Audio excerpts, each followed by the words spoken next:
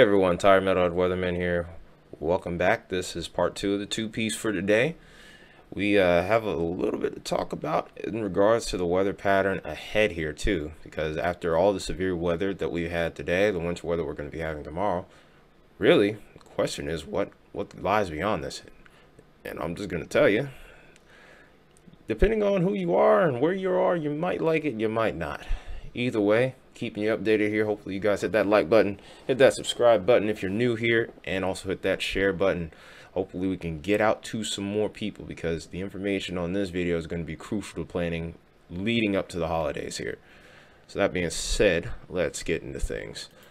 So in case you missed uh, this morning's video, we talked about the severe risk for today.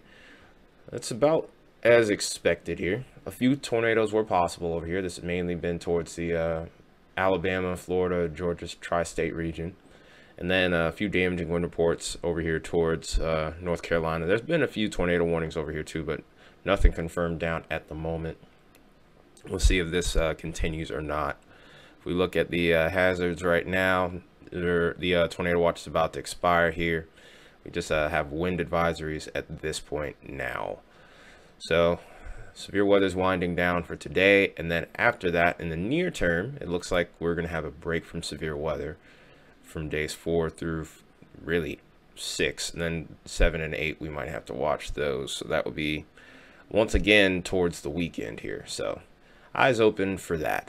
But we're going to go ahead and switch over to the model data here where we look at the GFS and the Euro. We kind of go from that point. All right, so here we are looking at the uh, latest GFS to the right here, and this is the 12Z Euro to my left here. So basically, we're looking at this trough finally starting to exit out, but it's not going to come, it's not going to leave without bringing uh, cold air into play for the eastern half of the U.S. here. So with that ongoing here, it looks like, uh, for the most part, Monday is going to be pretty frigid over here. And for a large part of the country, is going to be frigid here both the uh, Euro and the GFS are kind of running towards that solution here. Eventually we do snap out of the uh, cold spell that we have here, but not until we see yet another storm system trying to come into play here. You can see this uh, upper level low trying to develop here as we head into Thursday afternoon into Thursday evening. And then eventually this will uh, start to ramp up as we get towards the weekend here. This is going to end up causing some issues for the southeast in particular. But for the most part, I think the rain is going to be much further to the south. This could be a more of a Florida-esque system here as well. GFS is pretty much kind of showing the same thing with that in regards to uh, the early run here within the first 10 days.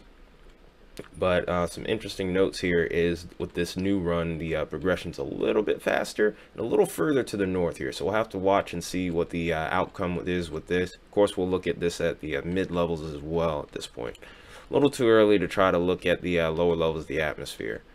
But this gets out out of here and this is when we start to get into that holiday weekend time frame. This is when we see yet another strong upper level system coming in over towards the uh, northwest and it's going to be starting to make its trek across the country here.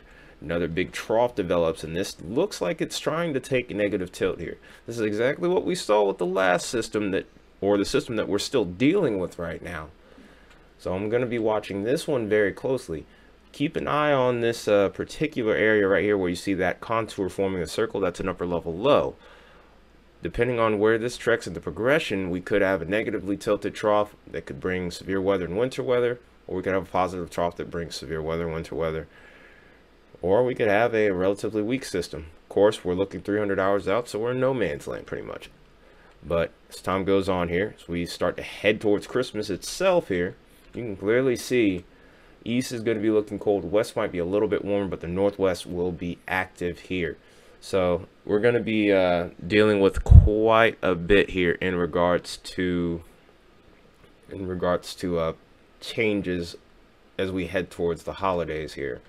So be on guard because this could uh, come into play for your travel plans here for sure go ahead and switch this over all the way to the uh, 500 which is the mid levels and we'll see those uh, low pressure areas a little bit more uh, clearly with this so when you see them in the upper levels it there's some validity with it but when you see it at the lower levels it definitely will get your attention more especially at this level in 700 millibars, which is about 20 to 30,000 feet up, depending on which section you're looking at here. Here's that Florida system there as we head in 240 hours here.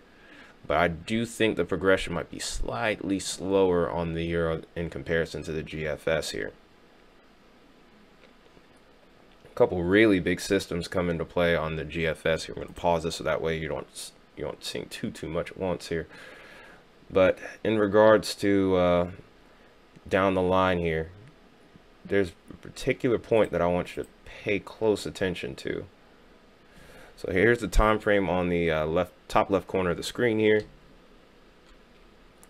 Here's that big storm system around the 22nd. Brings a lot of cold air with it. Not quite enough to cause wintry weather at this current time, but it could be quite the severe weather producer if this plays out. But also, keep an eye on uh, this system behind it this one, I'm a little bit more concerned about it bringing more winter weather along with it because this kind of has the look of a trough ejection here. Maybe the early stages of it on model data, but like I said, we're so far out, we can't really uh, put a lot of uh, merit into it right now. But look what happens if this scenario does come into play. A lot of frigid air by the mo by uh, Christmas morning, Christmas Day morning to be exactly, be uh, completely exact starts to really dig towards the south here. Now, like I said, given the fact that we are looking over 300 hours in advance, it's prone to change, but just how much we're still uncertain of because this could either dip further to the south or retreat to the north. So, very open-ended uh, outlook here. I wouldn't even call this a forecast at this point. But let's go ahead and also take a look at these air masses here. Start out with the Euro. No surprise here, behind our current system, we have plenty of cold air to go around to start the week. But just as quickly as that hangs around, that moves out, we get a little bit of warm air coming back into play. And this is where the chances of severe weather kind of return here. This colder air mass is holding up pretty well and really starts to deepen as we go towards the weekend. I really think this is favoring more of a coastal event in particular. And maybe on the north side of it, you could get severe. But as time goes on here, Florida looks like we could get some uh, heavy rainfall over the course of the weekend. Could even be a flooding type setup. But um, we're going to look into that more as we close in on this day, on this uh, particular event here towards next week. Make our comparison with the GFS. Pretty much a similar outcome. A little bit quicker progression here because here comes that system about a day earlier by the time we get into Saturday, it's arrived, and by the time we get into Sunday, it's on its way out.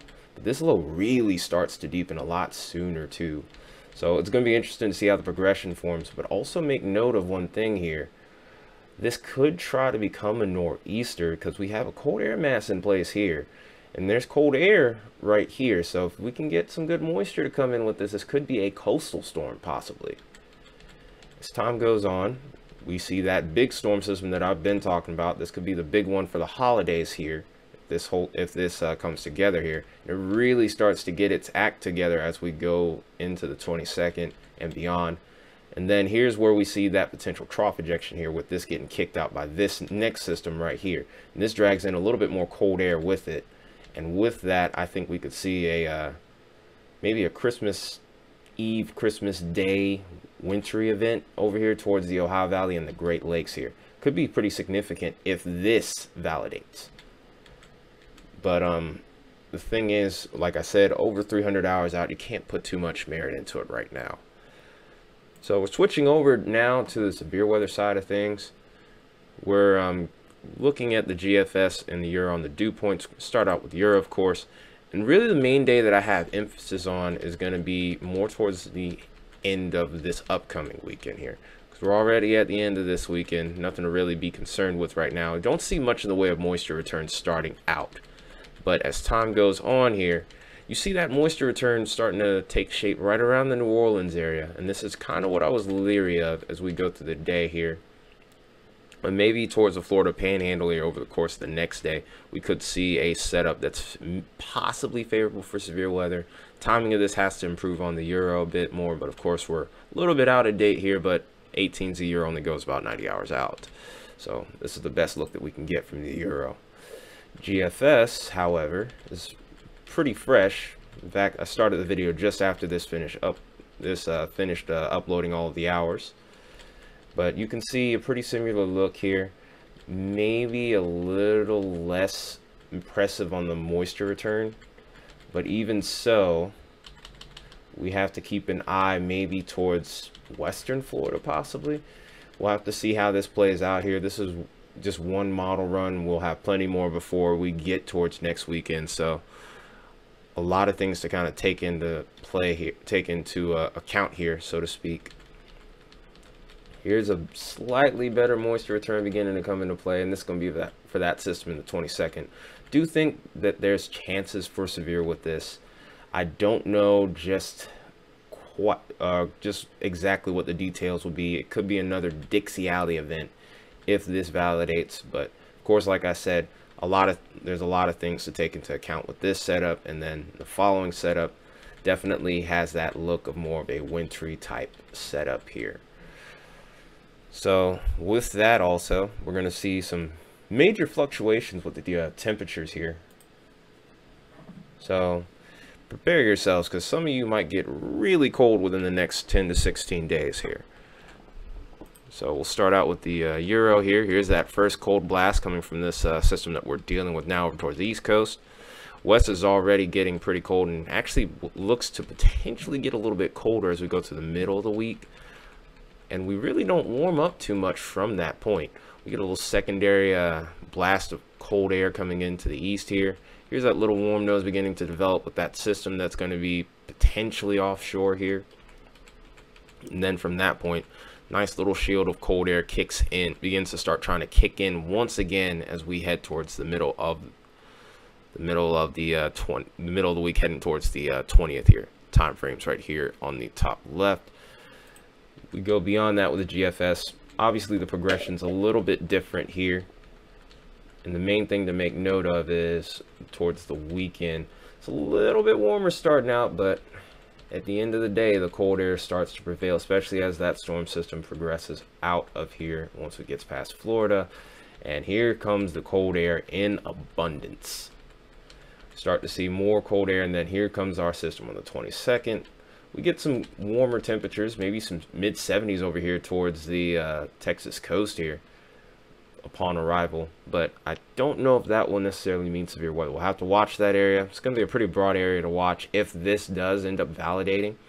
But um, uh, as time goes on here, we see that next system come in. It looks like it's going to be potentially warmer for the east in regards to uh, Christmas Eve, but once that storm system passes, it'll be Christmas Day, and down go the temperatures, just like Foreman. Just kidding. I love George Foreman. But anyway, next things we're going to take a look at here are the uh, lightning flash density on the uh, Euro. To kind of try to get a sneak peek at where we have a higher likelihood of thunderstorms in the next 10 days. Wish the GFS had this would be really nice to be able to use, especially for the uh, longer term patterns here that you would see. So, of course, with that little that little low pressure that's going to be uh, hanging around off the uh, Gulf Coast here. This is going to be where the uh, line share the activity is. Then maybe towards the uh, southeast coast here, southeastern Atlantic coast, I should say. Maybe we could see a little bit of action there as well. And then, of course, last but not least, we're just going to look at everything as a whole, all the precipitation and all types of precipitation. So here's our storm system exiting and here comes the wintry side of it as we go through the morning.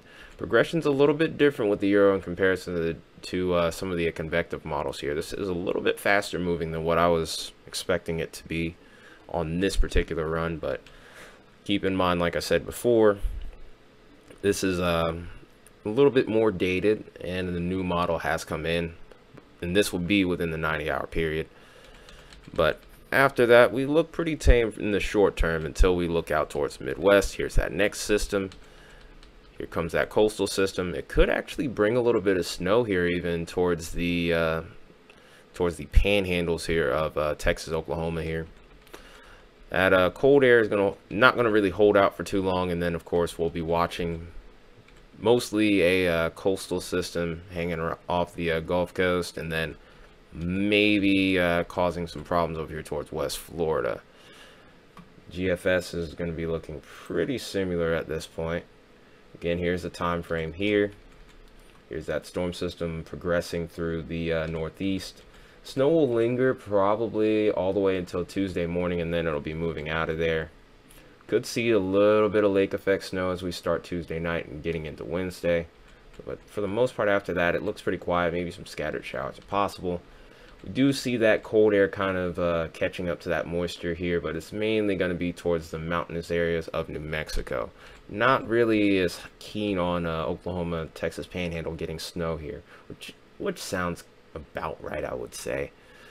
Here's that coastal system. Here's one coastal system coming into play, and then we have another wave coming right behind it. And this will end up being a big rainmaker throughout the weekend for the south. Then event, but here's the thing: while there's potential for that coastal storm to kick in, doesn't quite look like it's going to end up being that way because the uh, moisture is looking like it's going to do the classic thing and outrun the cold here. So Right now, maybe not a coastal storm, but we'll have to keep an eye on it because we, like I said before, we're looking pretty far out and these trends tend to change regularly. So as we continue to go forward, here's that next system that I'm really concerned about. Some snow cores possible on the backside of this, but mostly thinking this is a warm core event, and I think more severe storms will be possible towards the Tennessee Valley, maybe the southeast. Ohio, Ohio Valley can't be ruled out either. Then as we continue to go forward, we see that next system coming in. And here's some snow starting to really develop on the back side of this. If this validates, it could be pretty significant totals. And this holds out pretty well. But of course, we're really looking for trends more so at this point than anything else here. So that being said, a uh, lot to watch here. We've been calling for an active pattern, and here we are. We're starting to see it. So buckle up and stay tuned. That's all I can really tell you at this point. But anyway, I hope you guys enjoyed the video. You found it useful. If you did, you know what to do. Smash that like button. If you end up watching this for the first time, or if you've been here for a bit and you haven't subscribed yet, hit that subscribe button. Also hit that share button. Or save this video too, so that way you know exactly what could be lying ahead here as we head towards the holidays. Important time for everybody. I wish you happy holidays, and I will see you very soon. Tired Metalhead Weatherman. You guys take care and have a good rest of your night.